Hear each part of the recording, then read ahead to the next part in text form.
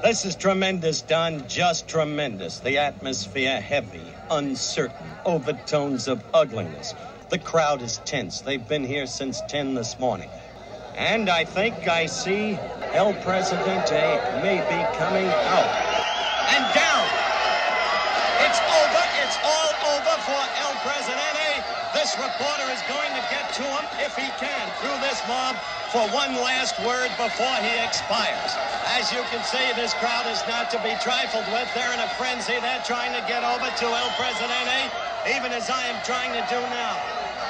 Would you people let me through? Here we are. Here we are, sir. When did you know it was all over? I guess now you'll have to announce your retirement. Well, good luck to you, sir. Good luck to you.